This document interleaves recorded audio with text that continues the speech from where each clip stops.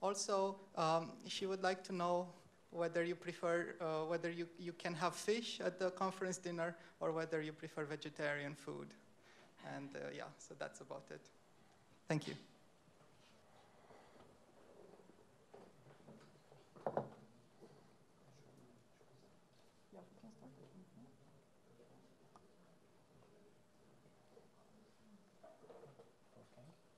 Yeah. Five minutes before the end of your talk, I will just show you. And you should have, uh,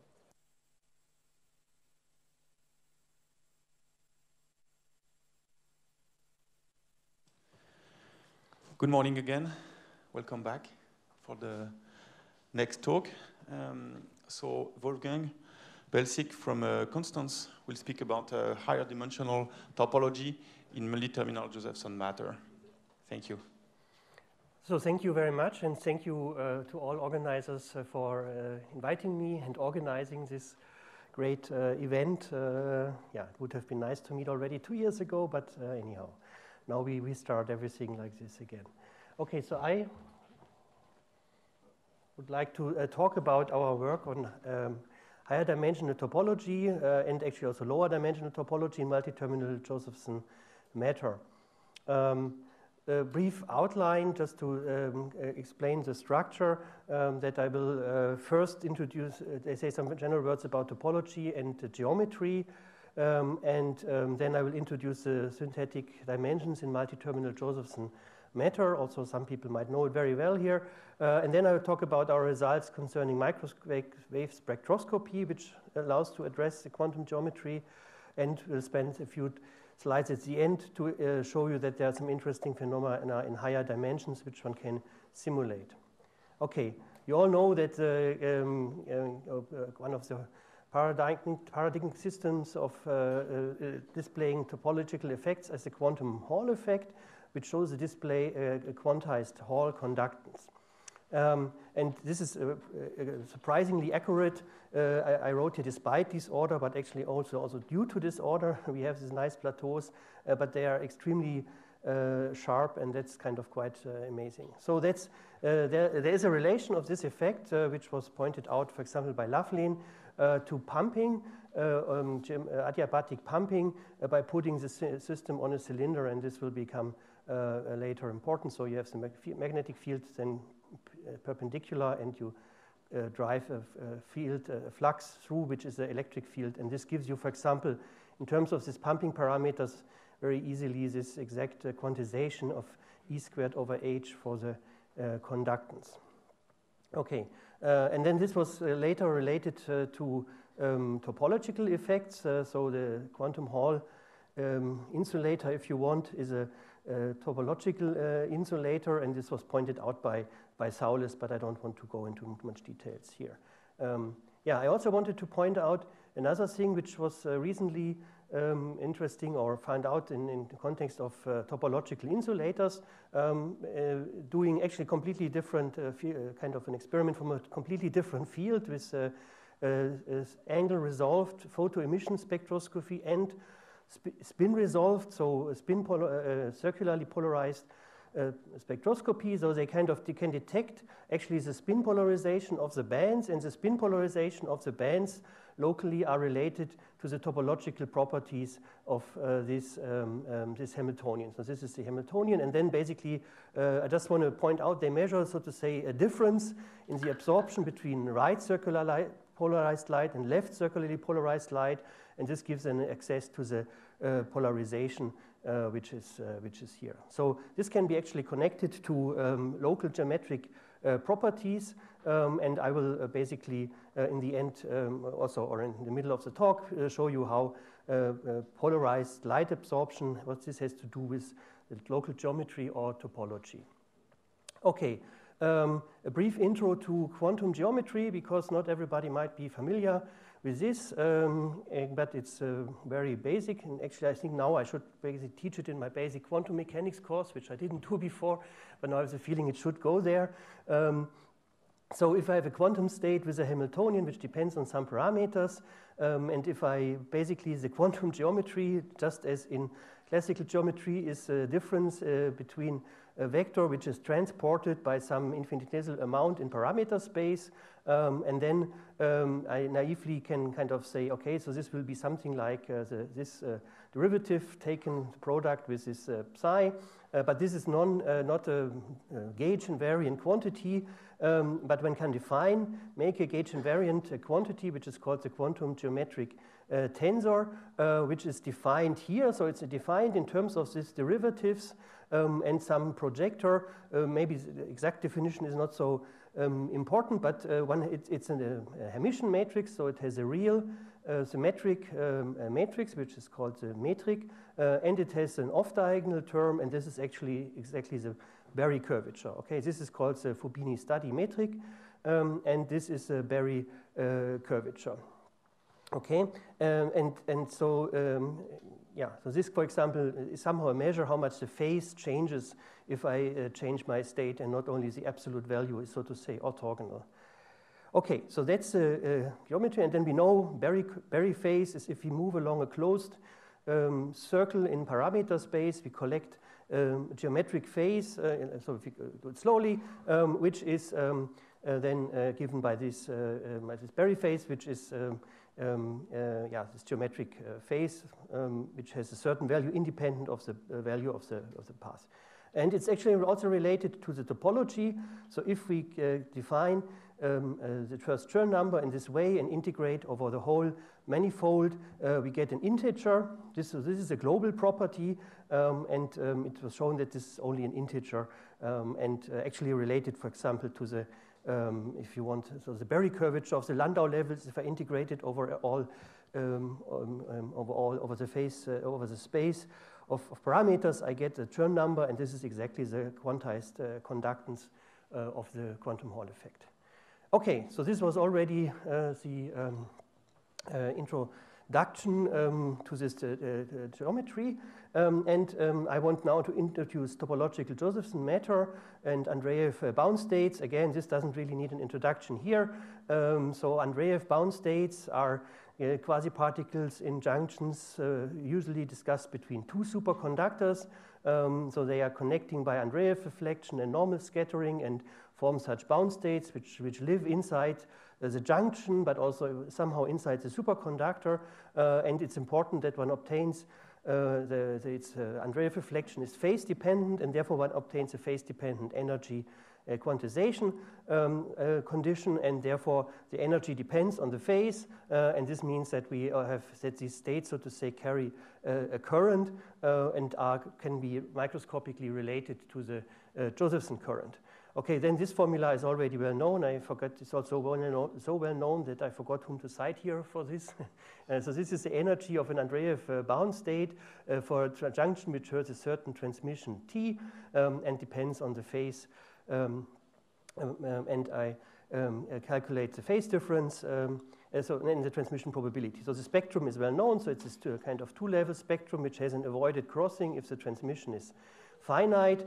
Um, and um, so we have these two levels, and one can calculate also the corresponding uh, currents, uh, which are the well-known relations. So we have the standard Josephson relation for small transmissions and the non-sinusoidal relation uh, for um, um, uh, higher transmissions, for example, transmission equal uh, to 1. Actually, it should be some absolute value here. It's a bit, uh, yeah. And um, I want to point out, so this current, uh, so if you integrate the currents over the phase, obviously you get zero here, yeah? So uh, that's, uh, and that's um, um, kind of, so if you adiabatically change the phase, you get on zero current on average, um, and, and that's, so to say, well known. Now, it, it was found that actually this is totally different uh, in higher dimensions. So this is basically 1D uh, in the phase, uh, and this was found by uh, Nazarov and collaborators um, in, in this work, 2016. Uh, so they considered now a scattering matrix connected to n superconductors, and in that case, uh, the Andreev bound states kind of um, yeah, seems to, um, um depends on n minus 1 superconducting phase differences. And if you want uh, superconducting n superconducting phase differences, n minus 1 form an n minus 1 dimensional uh, Brillouin zone. Yeah? And now we can uh, play all the things we know from topological insulators three-dimensional topological insulators, Weyl semi-metals and so on, all this can be, so to say, uh, synthesized in such a Brillouin uh, zone. Okay? And it's quite interesting that there, that there is a, the possibility to have the stable Weyl nodes, which, so to say, cross at a certain points and are not destroyed by, a, uh, by certain uh, perturbations. This is different than 1D, where you get, so to say, this anti-crossing for any kind of perturbation, unless it's protected by some special symmetry, like time reversal symmetry. And in this uh, topological, uh, in uh, Josephson matter, these, so to say, Weyl nodes exist without any special symmetry. So they are kind of constructed uh, by this. Um, Okay, so basically we look for zeros in, in the spectrum, and uh, this was from this paper, playing around with uh, the scattering matrices. They found some bound states, and then there's one which has a zero crossing. And these points are then located in this Brillouin zone at different, different points. Actually, so this is probably some kind of Weyl semi-metal uh, thing.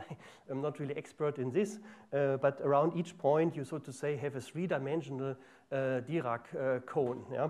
Um, and, and some, they are of course connected if you plot the uh, energies. I have some energies later where you can see this. Okay, and then there's interesting, another interesting prediction is that um, so in the topological phase, so if you do not have the, the crossing, yeah, uh, so if you, uh, then you're so to say in a, in a uh, let's say, possibly topologically non-trivial phase with a gap, um, and then uh, they have shown that uh, they are using exactly the similar arguments as I did earlier for the quantum Hall effect, uh, that uh, the current, uh, so to say, in a time-dependent, if, if, you consider the time-dependent Hamiltonian, it has a, so to say, adiabatic contribution, which is just the energy, but it has also a non-adiabatic contribution, which exactly contains the Berry curvature, right? And then the interesting thing, if I integrate the Berry curvature over all phases, we get an integer, right? So the first term vanishes if we integrate them over both phases, uh, but the second term not necessarily vanishes. And this means we have, uh, uh, using similar arguments, a quantized uh, transconductance in units of 4 minus 4e squared over h. And okay, I mean, uh, and this means this was then also calculated, and each time we we so to say in this area, in this kind of plane, and if you change the phi 1, phi 2 plane, um, um, then um, we uh, each time the, the, so to say plane crosses such a Weyl node, the Chern number changes by one, and therefore the transconductance. Okay, and um, there have been many works uh, following that um, uh, in, um, um, in, in, the group and also by uh, others, and some people are also here. Um, uh, in, in, a kind of a different system, which I will also uh, mention later. Um, uh, so, and okay, so what motivated us was two things. So, first of all, we wanted to, so to say, kind of try to have a more engineering approach to uh, find these Andreev bound states. And the other way is to see what one can do with microwave spectroscopy, because we know that this is very, uh, uh, very good uh, to, because you do not connect your system to leads and avoid certain noises which come in and so on.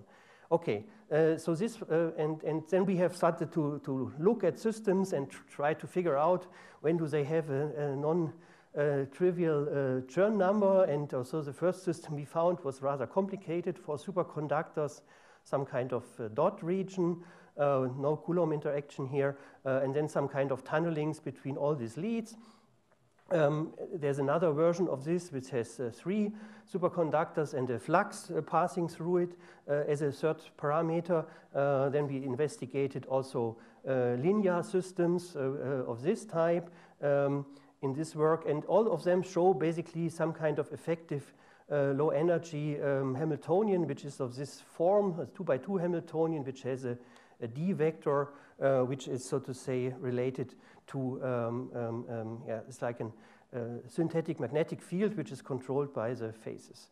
Okay, finally we found the simplest model. We just need these two dots and just this number of connections. Uh, and so this also has a, a topologically non-trivial uh, phase, but it's not published anywhere. We just said, okay, I mean, you can play around with this and, and, and create tons of models now. Uh, but uh, I think we first wait until we see something in reality, what, is, what can actually be done. Um, yeah, but anyhow, so this was the final, simplest model. Okay, uh, so just to, uh, I mean, we described this with the standard uh, uh non-equilibrium Green's function technique. Also, we don't need non-equilibrium here, but uh, Green's function techniques, integrating out tunnel couplings and so on and so on. And then one has this kind of a simple result in lowest order in this T0. So this is some kind of perturbative result, uh, which shows nicely like you have an effective magnetic field uh, vector, which you can in, in, in magnitude and in direction tune by, by playing around with these fluxes. And now the question is, does it have a topological phase? And then one first looks, is there a Weyl node? And yes, so if, you, if d absolute value is zero, we have a Weyl node for this set of uh, parameters. And uh, the dispersion relations are shown here. I don't want to, uh, so we have things like a single Weyl node here, but we have also situations where we have two Weyl nodes. So this is a bit like these Weyl semimetals, which have two Weyl nodes, which are somehow uh, connected. Okay, and um, it turns out that there are, um, so there's also four Weyl nodes, and uh, they two are on one plane uh, in the, uh, in the one-two uh, plane. And um, then one can calculate the Chern number, and everything is in some sense already now as expected. So the Chern number becomes jumps at these points, um, and it can jump to minus one, plus one, and uh, back again. And this all depends on parameters, and if the parameters vary a bit, uh, and we have investigated this for some examples, uh, these points move around, but they can only be destroyed if they all, if they somehow move together. Yeah. Okay. Um, yeah, and then uh, let me now come to the point uh, how to um, uh, relate spectroscopy and quantum geometry. Now I'm going to tell you something you already know, but you didn't know that it's related to quantum geometry. Um, so we all know Fermi's golden rule. Uh, so let's start with two levels. Then for two levels, actually, this uh, tensor simplifies because we can use a completeness relation. So it's related to such matrix element uh, with uh, um, final state and initial state. Um, and um, for example, the diagonal elements are just this. And if we, uh, for example, drive one parameter, exactly this parameter j here, with some amplitude, uh, with a certain frequency, um, then we, we kind of, uh, we know we kind of wiggle, at, uh, so to say, the energy if you want. Uh, and then this is just, so to say, what we do then to calculate golden rule. So this is golden rule for this uh, parameter, for this perturbation here. And we see this has this usual matrix element, um, which contains a derivative of the Hamiltonian with respect to the parameter. Uh, and then there's such a relation uh, because these are eigenstates, which basically gives the energy difference. And because now we have the delta function here, uh, this energy difference, so to say, cancels out with the omega. Um, and uh, actually, we see that uh, the prefactor, so the line, the, the line intensity, is proportional to the diagonal elements of the quantum geometric uh, tensor. Yeah? So this is, uh, again, you, everybody knows golden rule, but you didn't know that the line intensity is related to some kind of geometric uh, property of the, the system. Okay, and now comes the point, um, uh, now we want to access other quantities, and this can be done uh, by, uh, by, again, looking at the two-level approximation, and now we do not only change one parameter in time, but we change another parameter in time. Um, so vary it with the same frequency, but with a different, with a phase difference. Yeah. So that's kind of, in, um, my experimental friends told me this is straightforward to implement. I look at who told me this first time. Uh, uh, so, um, and, uh, but, but in principle, yeah, okay, it's the same frequency, but with a controlled phase difference, yeah? Uh, and uh, uh, so basically you, depending on this phase difference, you make certain lines or loops in your parameter space, yeah? Uh, um, and uh, now you do exactly the same uh, golden rule calculation, um, and as a result, you find that the prefactor, the line width, now depends on this phase parameter, phase shift, and it contains other elements of the quantum geometric tensor, like g, j, k, if j is equal until to k, and the Berry curvature, right? And this means it allows us, in, uh, in, principle, to access these quantities by comparing different, let me call it artificial uh, synthetic polarizations, right? Because, uh, if, for example, if I take phase shift pi over 2, this is like right circularly polarized light uh, or whatever and whatever, minus the ratio at minus pi over 2, I, I obtain this, this quantity here. Yeah, so then this, the difference uh, in line widths will be exactly proportional to the, quant to the Berry curvature. Uh, and if we take, uh, so to say, linear polarized uh, microwave light uh, in this parameter space, we get the off-diagonal uh, elements. Okay, and then it has to be normalized and so on, but in this way, one obtains the Berry curvature um, and all other quantities. And if you want integrating this, one has an independent measure of the Chern uh, number. Okay, uh, so that's, uh, that's quite nice, and that's uh, in some sense um, already the main um, uh, story here of this part. let me check, I have 20 minutes. Perfect, yeah. Um, um, so that we, we have some recipes, and I have in the end I have a list of all the, the references, uh, or you just arXiv uh, my, my name, for example, or so you will find all the papers uh, with, with lots of details about the different systems we consider and what are the parameters and the requirements. Okay, now let me come to the, so to say, um, original title or the main word in the title, higher dimensional topology. Um, I, it's a bit a kind of exotic uh, phenomenon because it's, um, I, I don't know of any practical use of it, but uh, anyhow, it's a very interesting physics uh, phenomenon. And you see that very recently there was a kind of highlight article in Physics Today. So this is a, the, the, the, cover page. And then this is a page by Hannah Price. I, I hope you can read it, um, who did some major works in this.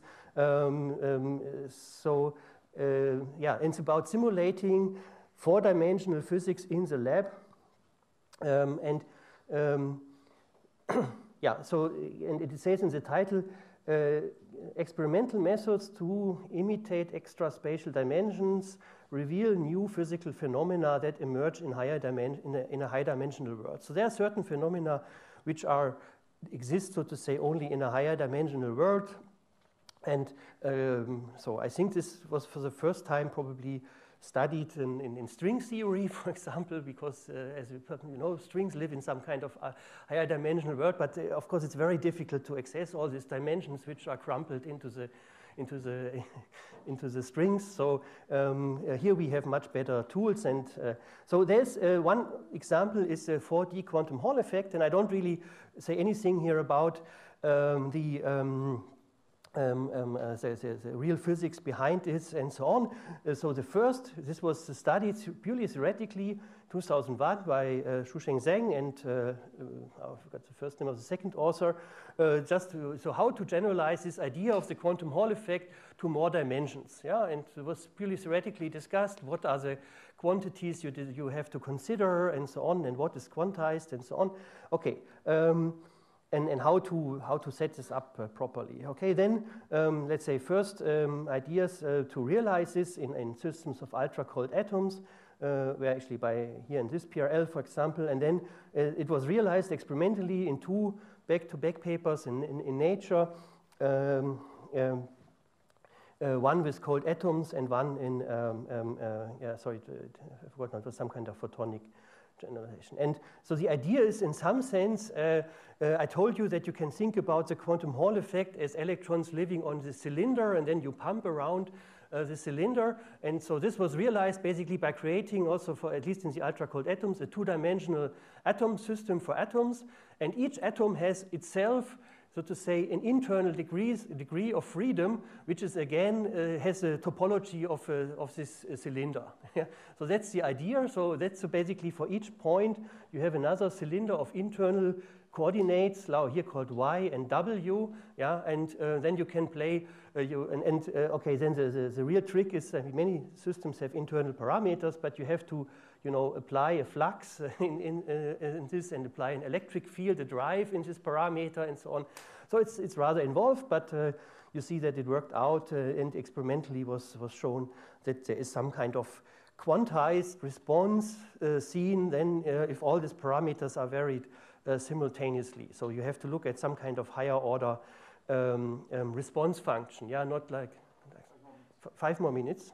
Okay, yeah, that's perfect.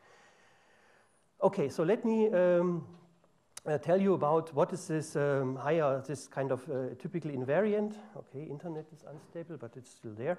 So if, if we talk, uh, so we, we now look at a system which has a twofold degenerate state depending on some parameters.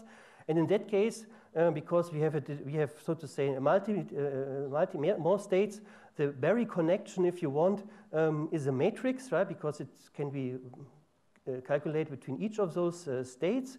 Uh, and this means that if we move our state around uh, adiabatically, we not only change the phase of the state, but in, if visualize a spin, we also kind of rotate the spin if you want. Okay, this gives a matrix valued Berry curvature, which has an extra term compared to the other one. Um, and then one can look at topological invariance. For example, the first Chern number um, would be just integrating over two parameters, taking the trace of this matrix Berry curvature. And then there's an invariant which only exists in four dimensions. This is the second Chern number, which is this uh, object here. Okay, um, and then one has uh, also, in, in, this context, and also non-abelian Berry phases. So if I go around a loop in parameter space, I, I also change the direction of my spin if you want. So this is a simple picture. Okay, and now we, we try to simulate something like this, or not simulate, but uh, kind of engineer this in a 4D Josephson matter. And I don't even show the, the system here. It's very complicated, and I hope we can simplify it also in the future. So it's like two quantum dots with some spin splittings and couplings between the levels and between the dots. And uh, it's a bit complicated to search for it because uh, one needs a four-dimensional integral, which is not so fast to do. So one, uh, we kind of used to construct it by, say, uh, uh, construct the Hamiltonian in terms of matrices which uh, have this Clifford algebra, and then they have this eigenvalue, so they automatically have two-dimensional, two degenerate states if these matrices are four-dimensional. Um, and then that's what we have to do. Okay, we need five of those matrices, and, and okay, here they are. Uh, and in the end, we succeeded to find some kind of uh, uh second Chern number, um, which, uh, so to say, in certain uh, parameters can take some integer. Take it has to be an integer value, and here we could calculate how it depended on the parameters in this, this internal field, which is, however, taken in different direction for the two dots here. So maybe you can simplify this in the future. Okay, this also shows a non-abelian uh, Berry phase, which means that you just vary one parameter, for example, phi, phi 1 by 2 pi, uh, and then you rotate uh, the spin, and the uh, corresponding rotations are here. So in some sense, um, if it would work, it, might even have a use as a platform for so-called holonomic uh, quantum computing, uh, which is discussed by some people, but I'm not so sure if it... Um, okay, it's, I, at least it's worth to explore, I think. Okay, the last thing I wanted to say before coming to the end is uh, uh, one word about tensor monopoles. Yeah, because uh, so what is a tensor monopole? It's a generalization of the magnetic monopole, which is a generalization of, so to say, the electric uh, monopole. Um, and I, I, kind of don't have time to go through it, but this is the field of a magnetic monopole. And for a tensor monopole, one has a one order higher dimension in the Hamiltonian, which depends on four parameters, uh, and not here like in this case depends on three parameters. Then one can define a tensor cur Berry curvature and calculate it. Uh, and then there's again a, a DD invariant. I forgot now the names. DD stands for two names. I forgot the names now. Uh, uh, invariant, which one calculates, and um, in that case, one finds that there's a tensor Berry curvature. And we found two ways to construct it. I show both because they look rather similar. So this is the first one here uh, is by uh, Andreev states with three dots. The second one is using this method uh, of uh, coupling Josephson junction. I think you will hear more about this later in the conference. Um, and then one can use this, uh, so this was called the bisquid, right? And then so two coupled bisquids, and then you with three islands, um, and this also can have a tensor monopole. Okay. With this, I uh, would like um, to summarize, uh, maybe not go through it in detail. I just wanted to say, okay, microwave spectroscopy of this Josephson matter might be interesting to uh, get access to the quantum geometric tensor and Berry curvature. Uh, we have some ways to realize higher dimensional topology, um, but not yet, um, kind of, uh, maybe not yet in a practical uh, proposal. Um, and it's anyhow also a platform for other um, kind of interesting effects, higher, which higher dimensional effects which only exist in higher dimensions. And before closing, I, I would like to thank the collaborators, and here's the promised list of papers, which is also again some kind of summary. And I want to particularly highlight the first two persons, Raphael Klees and Hannes Weisbrich, who were two extremely brilliant uh, PhD uh, students, uh, or are. Uh, so Raphael finished last year, is now a postdoc in Würzburg, and Hannes Weisbrich is finishing uh, in, the, uh, in, the end of this year. Uh, and we also enjoyed a much collaboration with Gianluca Rastelli and Carlos Cuevas uh, in the course of this, uh, this works. And uh, here you see the list of papers we published in the last year and year before. Okay, thank you very much.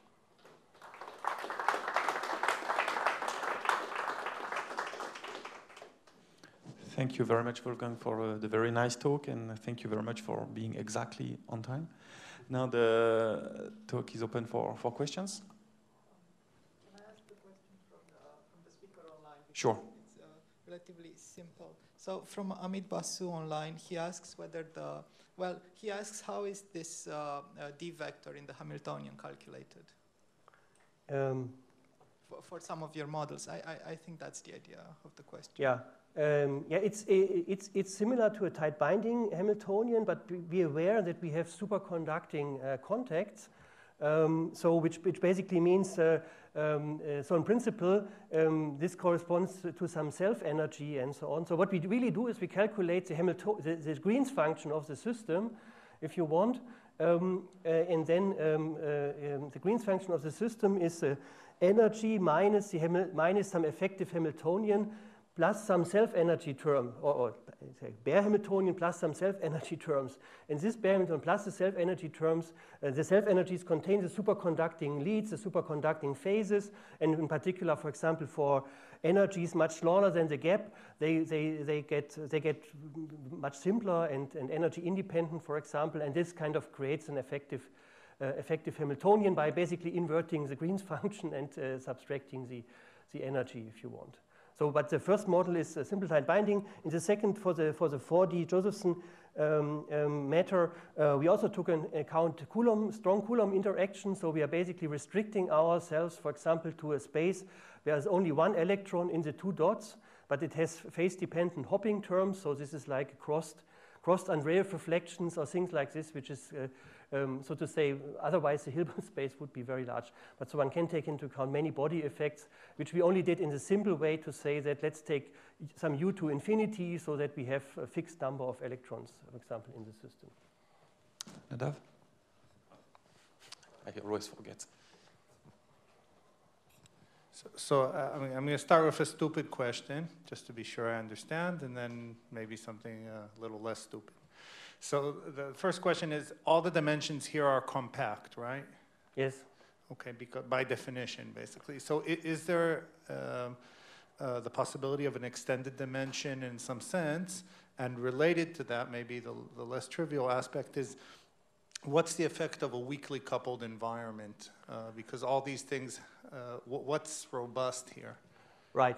Right, so uh, to the first question, I mean, for the superconducting phase, there's no way to, uh, I mean, uh, but of course you could think about making long arrays of Josephson junctions and then you, so to say, have this dimension as a, and you can Fourier transform it and have some kind of, okay, it's still, in the end, it's always a finite system, yeah? Um, so I'm, I'm, not so sure, in, in, some sense, in these phases are always, um, so to say, compact, absolutely. Um, but uh, um, I think you could, so to say, by some tricks extend it so that you effectively have a um, non-compact uh, phase. Yeah, yeah, order exactly. You need something like this, like an order of magnitude difference. And, regarding the, the environment. okay, the environment. Yeah, of course, of course, we did the idealized calculation here. So the superconductor is fully gapped BCS superconductor. Um, this is why we get the sharp lines and so on, right? Um, um, so this is why we get, uh, if you want, a delta function in the uh, um, in the golden rule and so on. So, so of course, in practice, the, the lines are broadened, and um, um, but but I think one thing is that the, the width of a line, uh, okay, might depend on the phases, uh, the coupling to the environment, and other complicated things, uh, which we did not take into account. And I think one should take it into account yeah, uh, but you know something like, for example, one simple thing is that uh, if, you, if you just uh, add a, an incoherent broadening, right, then of course the, the weight of the line, if you want, doesn't really depend on the broadening. Right? But as I said, the, the, the, broadening parameter might depend on phase itself, and then you have to uh, figure out how this, uh, um, um, yeah, how this in practice uh, looks like. So one would need a certain model and then include it. But I think it could be included in the approach. so, but there's no like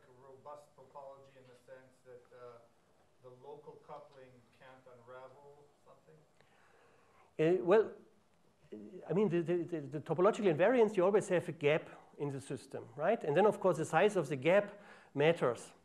Yeah, so it, it's kind of, um, so in the topological phase, you have a gap. So we have these closings, but then this is a point where the, so, the topology, so to say, changes from either one to the other or from, from, from one to trivial. But otherwise, we always have a gap in the system and how large this gap is. And of course, it's important if this gap can be overcome by some kind of uh, fluctuations, uh, then of course um, uh, we are in trouble with the quantized, with the quantized value. Um, and uh, I, I, think I, this is, uh, I mean, if, if, if we have, so to say, um, um, a gap and we have additional noise, so to say, on the, on the phases, we haven't studied this, how this would, for example, exact, uh, um, affect the quantization correlated noise in order to complete a trajectory, in order to... Well, the question is, uh, does it average out simply? Yeah. Um, I'm, I'm, and I, I, I, don't know, I, I, must say I don't know, yeah. But probably we should also go back to works who studied Berry phases under noise and so on and, and, and look what they did because I think it's rather related. Yeah. We have time for one more quick question. Charla?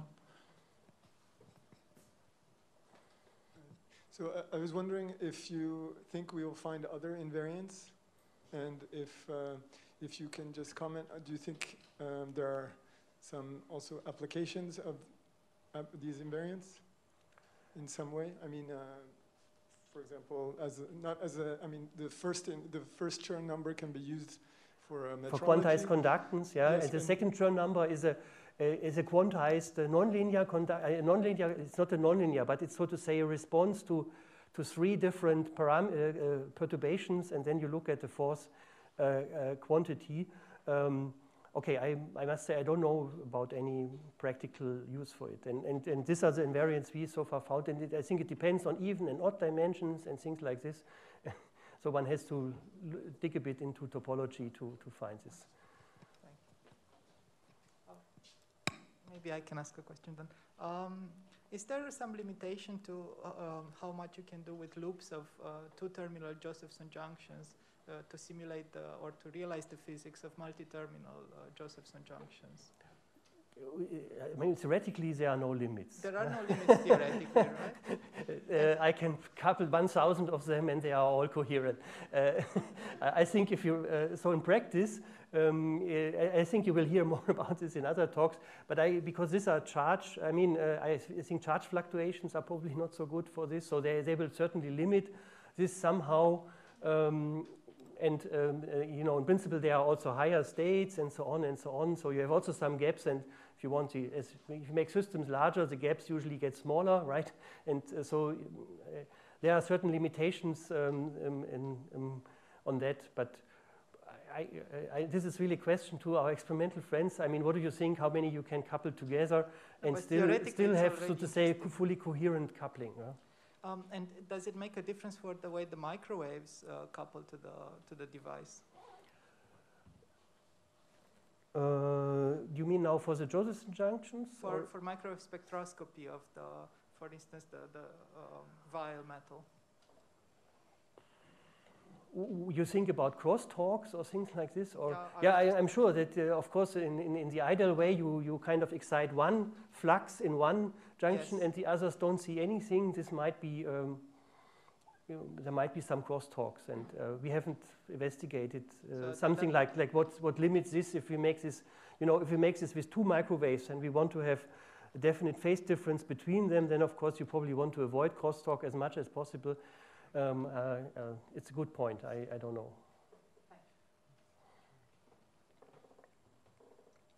Let's thanks uh, Wolfgang again.